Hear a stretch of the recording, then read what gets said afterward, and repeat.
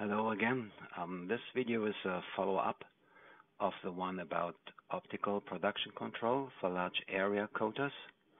And here this um, is just showing you a demo of the BREIN software which I have developed in order to simplify the real-time analysis of a large-scale uh, coating production on glass, on glass paints. Um, what I will do here, I will work with a simulated production. I have written a small program that can produce optical spectra like they would have been measured in a real factory. And uh, I will now start the simulation and show you uh, what it does, and then we will an analyze the generated data.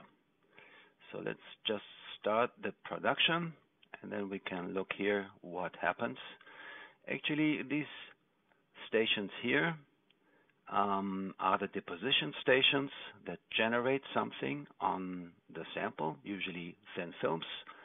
Uh, here is the glass coming in, and the red stations are the measurement stations that record spectra. I have four stations here that record uh, transmission spectra, and uh, one station at the end, which is the traverse system that scans across the glass plates and measures at the various positions reflectance spectra from both sides and the transmission.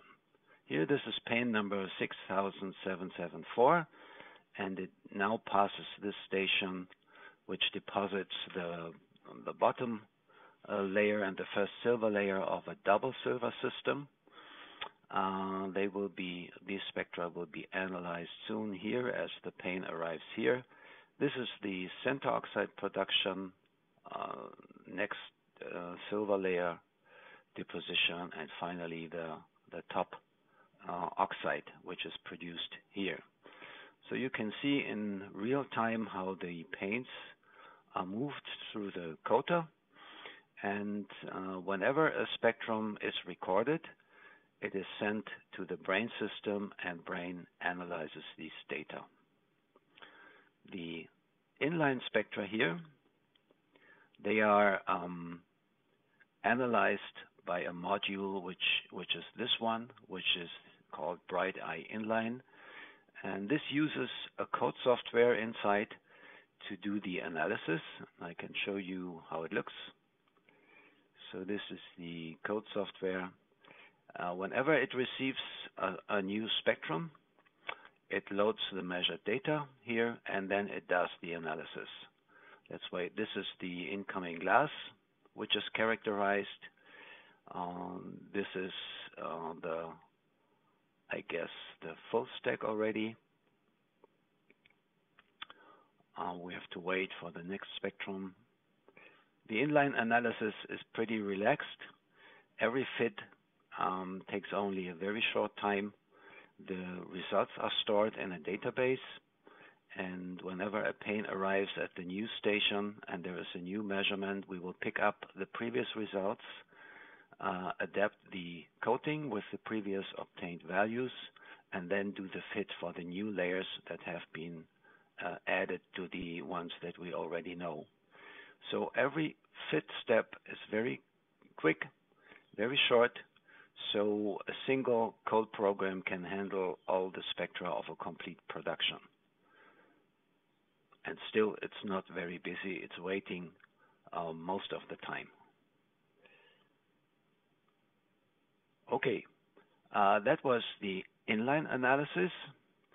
Uh, the ex situ analysis here requires more computational time because we have several uh, we have several uh, measurements on several positions, and uh, a single code program would not be sufficient to do that.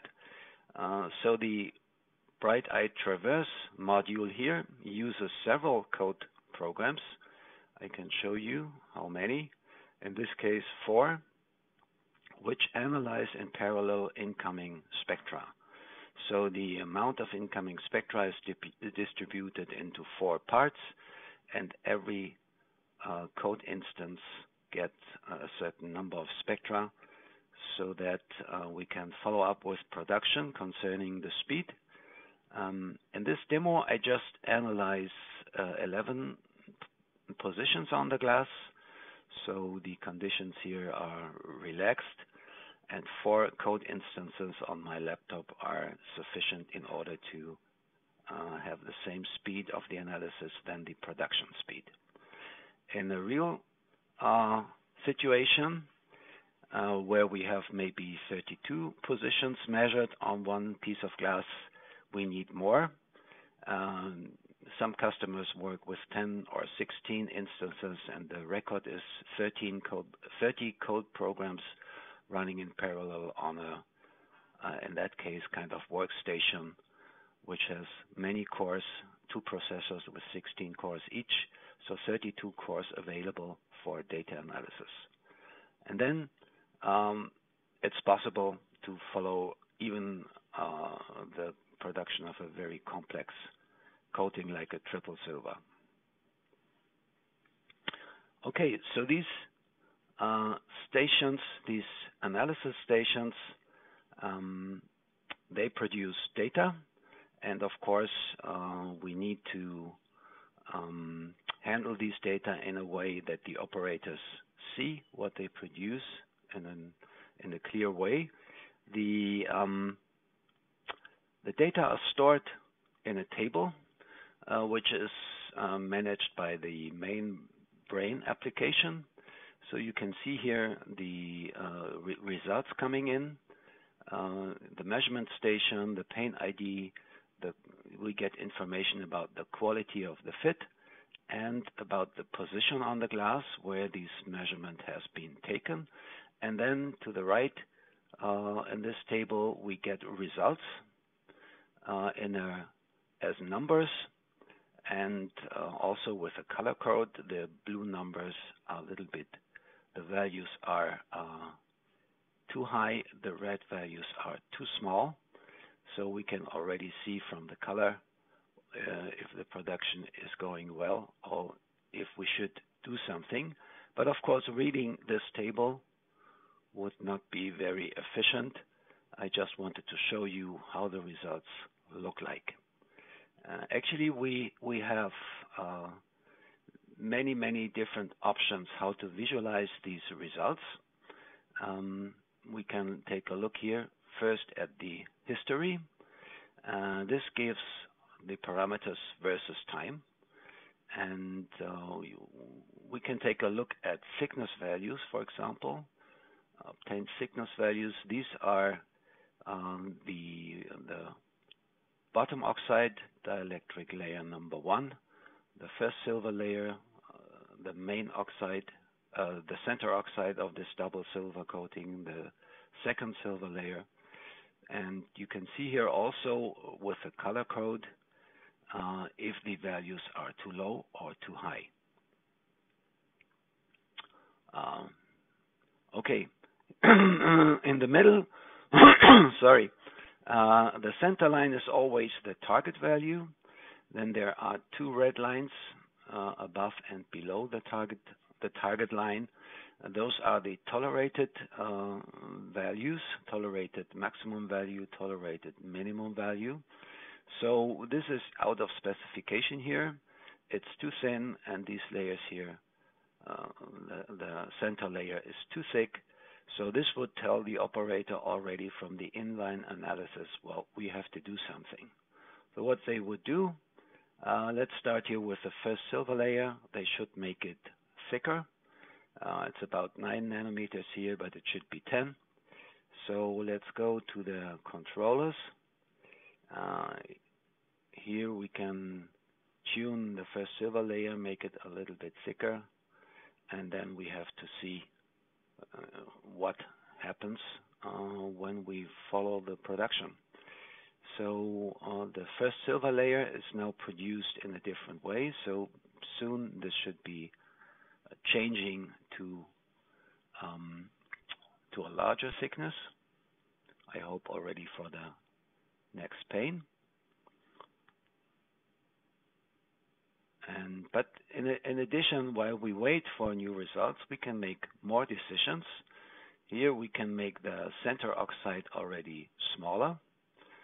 So, um, but the next pane here should arrive soon. Okay, that was a little bit too big, but uh, let's do the center oxide smaller, and um, then we can see if we have to do more uh, things. Center oxide smaller, that would be done here. Maybe I did a little bit too much for the first silver layer. So let's assume that this will improve the coating and let's let's continue.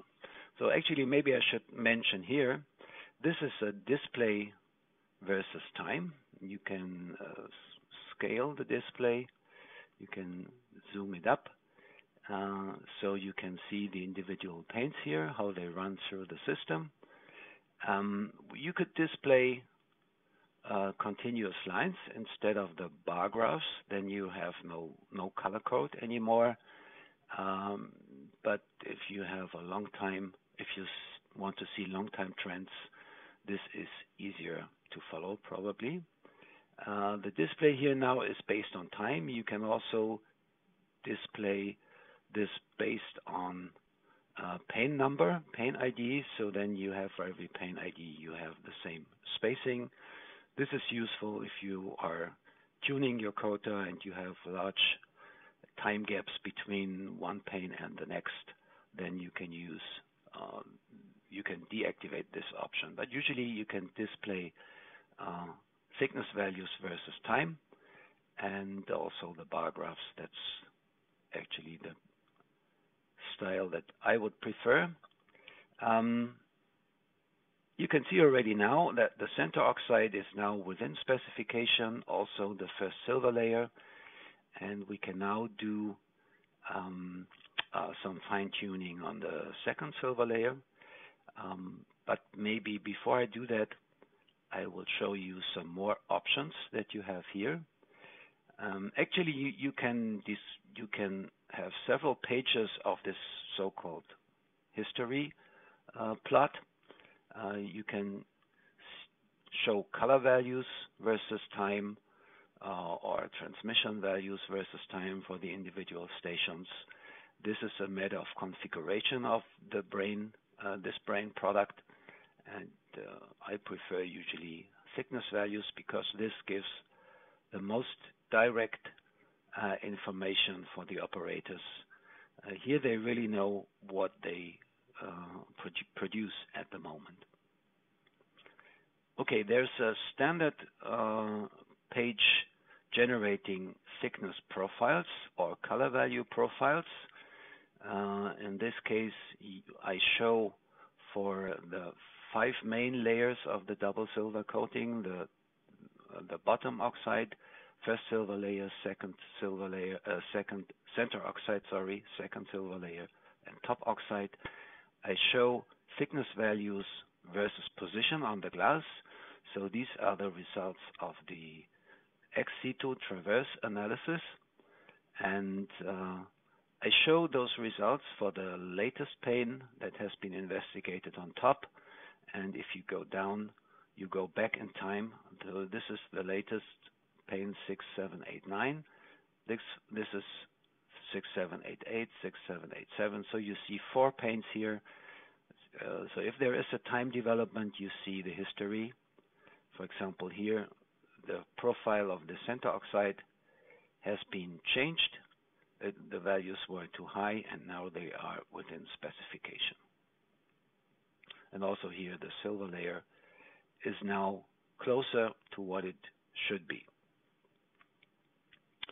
Um, okay, um, you can also see the measured spectra uh, in a standard graphics, which I which I have in every BREIN uh, installation. So you can group, you can have several pages. These are the in situ spectra for several paints. You, you, so you can also see color coded at time development in white, the latest one, and then getting darker, the, older spectra.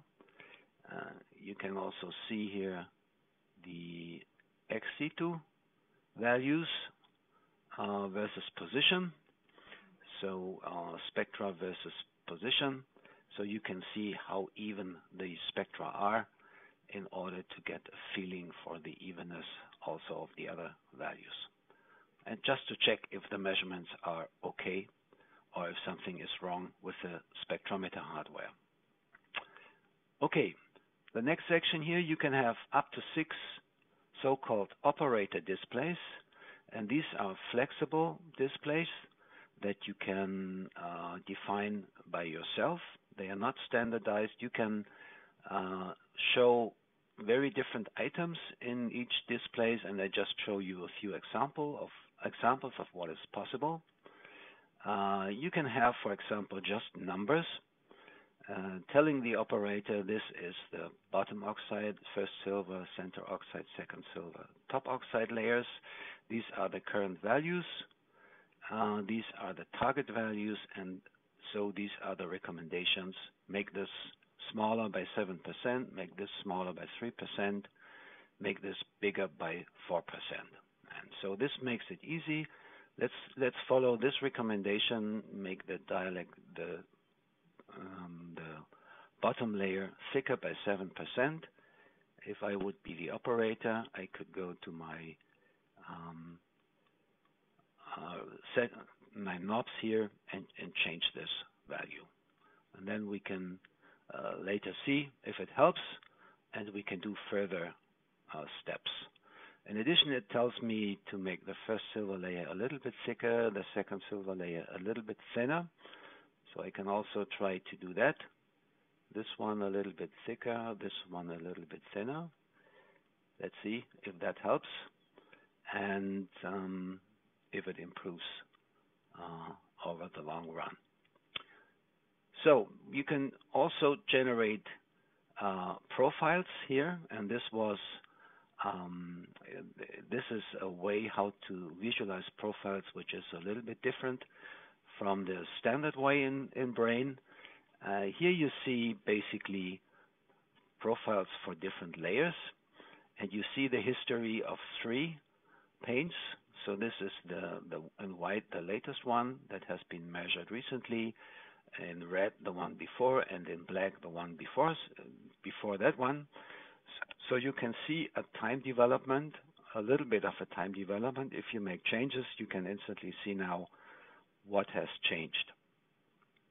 So uh, here you can see during the analysis how the profiles arrive.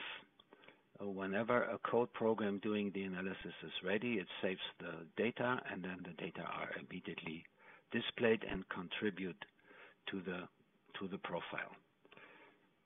So here this obviously was not really successful. We have been in, within specification for the um, bottom oxide, but now we are outside, so I made it too thick.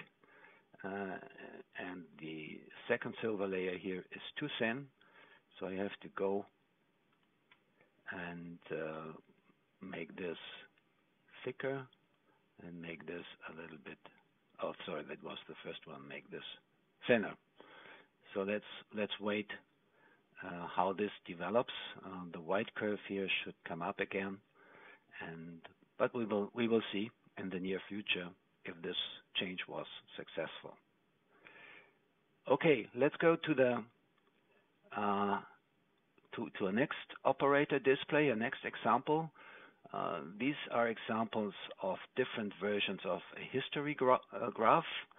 They all show 20 paints from uh, right to left. So on the left side, there's always the latest the latest pane on the right side, this is these are older ones, and we can select in the configuration how many panes we would like to see, and we we also can uh, select the um, select the style of the graph.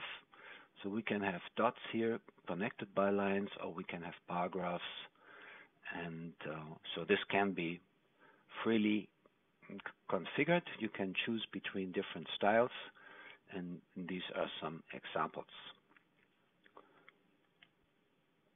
You can also show uh, spectra in operator views, so you can mix a view of spectra with view, views of thicknesses or color values versus time or versus position.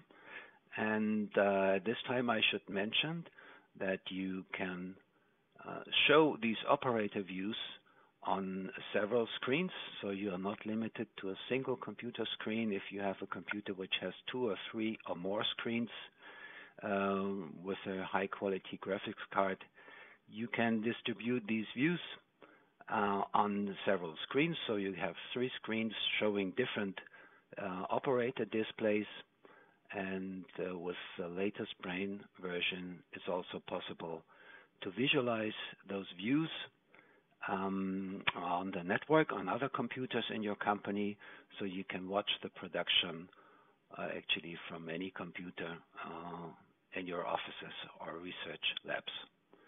Um, okay, I guess operator views five and six are empty still, so we could uh, generate some graphs there. Um, let's go to another feature of BREIN. Uh, you can couple BREIN to an external SQL database. So in this case, I use a Microsoft SQL Express database, uh, and you can export all the results uh, to this external SQL database. It can be a company database or a bigger database to to store all the data for a very, very long time. Uh, or you want, let's say, do your own analysis routines on the on the data that you measure. So it's useful to get these data um, in uh, an external database if you would like to do that. You can also have statistical data for the thickness profiles, for example, or color profiles. So for every um, number, or every parameter that uh, code fits uh, fits for um, um, a position on the glass, you get statistical information about the minimum, the maximum, and the average, and the standard deviation. Um, so you can uh, see if the average thickness on a glass pane is okay and if the variation within the glass is okay. And actually, you can define uh, statistical uh, graphs. So you can see graphs, history graphs of the average of all the layer values and the average of all the parameter values. Um, and you can specify uh, also target ranges and classify a pane as being okay if the statistical values, values are within the specifications. So you can set thresholds for the minimum and maximum value of the average, for example, and then you're in this green zone and everything is fine. Actually, if you dive a little bit deeper into the BREIN details, you can define a, uh, a list of conditions that a pane has to meet, and if all the conditions are met, um, these are so-called statistical checks, uh, then the pane is marked as being okay, and we can see that here. Uh, some of the paints are good, some are bad, and so the red sections here are a, vi a violation. The AG1 average is is not okay. So we have to work on that in order to make the paints good again.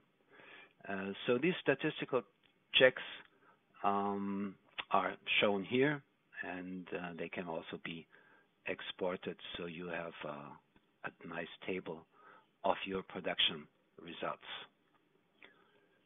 Uh, let's just take a look at the at the system here. So AG1 should be smaller, AG2 should be smaller, the center oxide should be bigger. Maybe we should do something now. Uh, sorry, that was the wrong button. We are here. AG1 should be smaller.